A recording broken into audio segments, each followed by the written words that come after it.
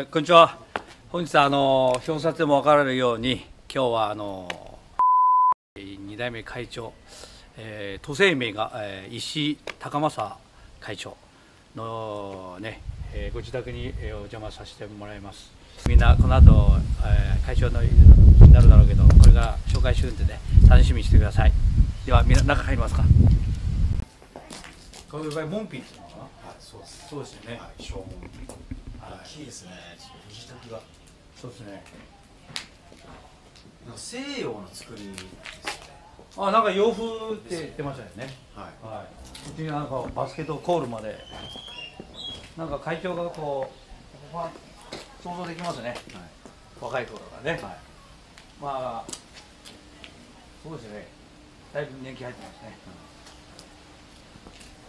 こちらが八角堂ですか？はい。こちらが八角堂で八角堂の由来ってこう本日ちょっとこう勉強してきましたよね。確か京都の方の法隆寺、はい。法隆寺があってですね。はい。その法隆寺のその八角堂っていうのがあって、はい。それが。えー、と天平11年かなんかに出来上がってるんですよ。法隆寺のはい。八角堂が、はい。その八角堂を模写してこうあの石井会長が元会長が建てられてるっていうふうに聞いたんですよ、はい。中になんかこう仏像がなんか3体あの一応八角堂のもともとの法隆寺の始まりはあの亡くなった方とか、はい。そのお釈迦様はいが入入れるために八角堂っていうのを作ったらしいんですけど石井会長はこちらにその、まあ、やっぱりあの任教堂ではい。あの励まれてる方たちで、はい。やっぱり構想だったりとかするときにその身内の方がなお亡くなりになったらこはい。こにあの埋葬すると。あいうことの意味でつなんか作られたみたいですね。そうなんですね、はい。詳しいですね。いえいえ勉強させていただきました。そうですか。八角の中も今日はちょっとこう 取っていいということなんでね、はい。ちょっとこう上がらせてもらって。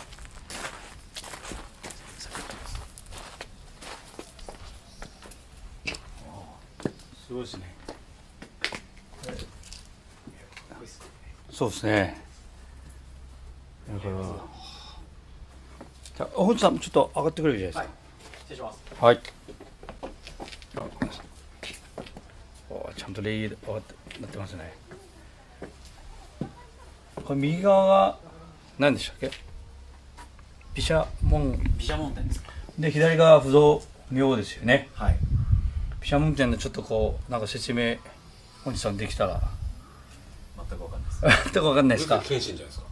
上杉謙信。はい。毘沙門天。あそうですか。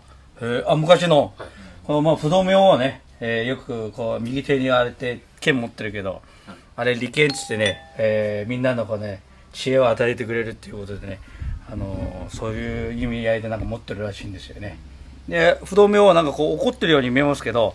この怒ってる顔は要するにその子供たちが夢中に遊んでて山とかでね崖から落ちたり、えー川に落ちたりとかするからねそういうの「こら危ないぞ!」っていう感じで別にあれはあの不動明王の顔は別に怒ってるわけじゃないんですよねね優しく諭してもわからない人間もいるからそういう感じでだから怒ってるように見,、えー見られがちなんですけど決して怒ってるわけじゃないですからね。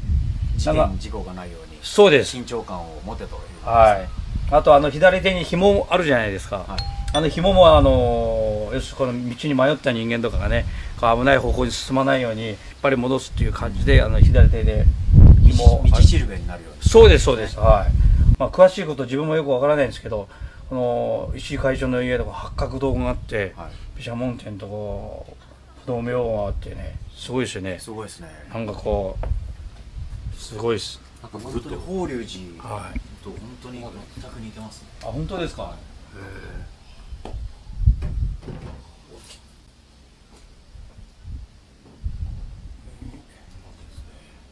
なんか心がそうですね。現れます。ね。はいまあ、そんな感じですよね、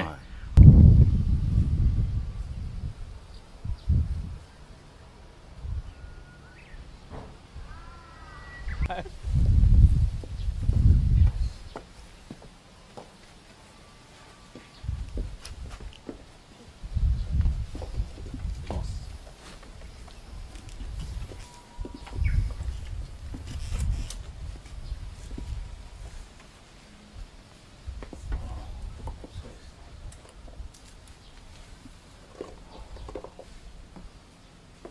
大丈夫です。ここが一枚板ってことですか？ああそうですね。そうそうですほら。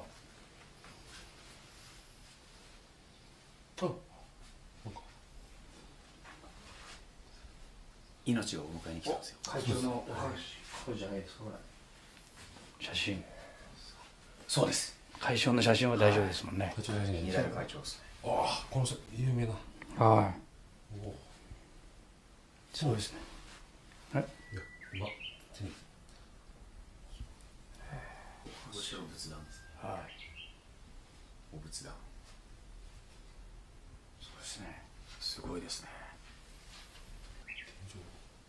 天井。天井どっち？ずっとねね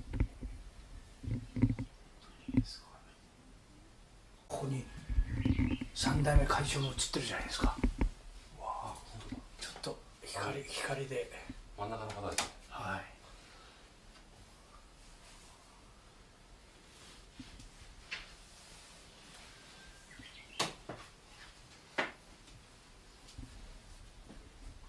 こちらにも会長が。ああそうですね。三代目会長有効会長です二代目会長のね妻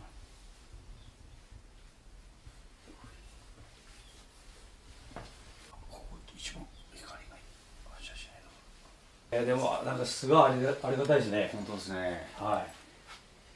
本当にプレミアです。次いや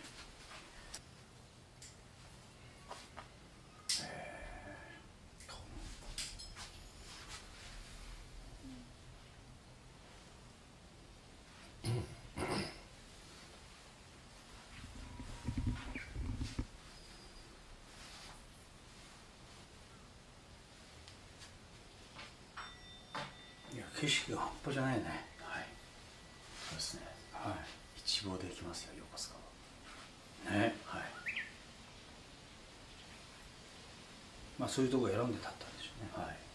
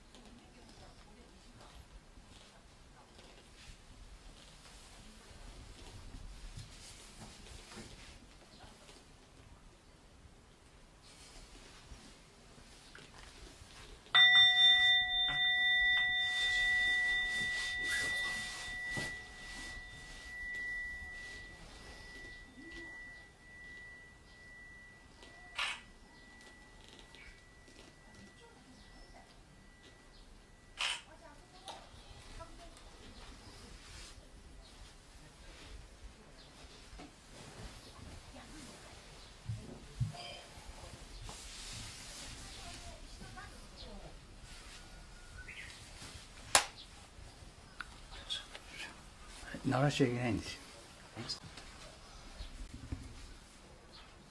仏さんが帰ってくるのは8月の15日の子供の時でこういう時仏さんが寝てるのにみんな知らないからみんなコンコンってなるんですけどあれを鳴らしたことによって仏さんがゆっくり寝てられないっていうことでそうなんですそうなんですよじゃあもう一ただよくみんなあの常識でか葬式でも3回やるじゃないですか、あれは3回でも1回でもいいんですよ回そうなんですかはい